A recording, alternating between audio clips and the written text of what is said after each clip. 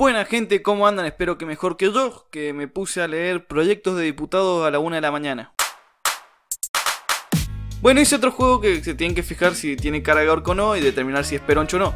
Voy a mostrarle diputados, leer un proyecto y tienen que adivinar si, bueno, eso. Empezamos con Hilda Cleya Aguirre. Ley. Dispóngase la emisión de un billete de curso legal con la imagen de Ángel Vicente Peñalosa en su adverso y la de su esposa en su reverso. Yo creo que se les hace mucho más fácil si ven quién era Ángel Vicente Peñalosa. El gauchito Gil sin publicidad.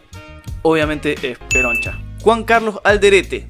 Declaración, expresar preocupación por la salud del dirigente Luis Delía. Qué malos que son. 210 lucas no estas cosas. Y sí, es peroncho. Es tan fácil, está fácil. hoy. Federico Angelini. Declararse el 31 de octubre de cada año Día Nacional de las Iglesias Protestantes y Evangélicas de la República Argentina. Qué ganas de cagar Halloween, loco, ¿eh? Este es del pro.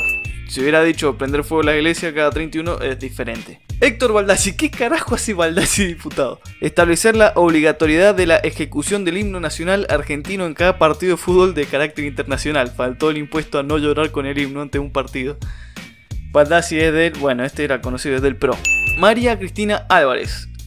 Ley, inclusión de personas trans, travesti y transgénero en el mercado formal de trabajo, porque si no existe esa ley no, no pueden trabajar, es una cosa de loco. No se dan cuenta que están tratando a esa gente como gente inferior. Bueno, ella es Peroncha. Pablo Carro. Declarar de interés de la Honorable Cámara la campaña federal para promover la apicultura y el consumo de miel. Y obvio, porque la gente no come miel porque no es de interés de la Honorable Cámara de Diputados. Por Dios, qué gran idea. ¿Cómo no se me había ocurrido? Pablo Carro es Peroncho. Itaí Akman. No voy a poner ningún proyecto, solo voy a decir que esto es todo lo que ha presentado de que es diputado y que varios ya se los vi a otros diputados. Itaí es Peroncho. Ana Carolina Gallard. Declarar de interés de la Honorable Cámara del Festival Internacional de Cine Canábico. ¡Paso! ¡Hablando del fa! ¡Mamá! Es Peroncha. Beatriz Ávila. Suspender el cobro de todos los impuestos sobre el trabajo y alimentos durante la cuarentena. No, mentira. Declarar de interés el Día Mundial del Agua. ¡Qué país de mierda, culiao! Es Peroncha, sí, Peroncha. Y bueno, mención especial para Federico Faglioli, que, que lleva recaudado más de un millón y solo presentó 6 proyectos en todo el año.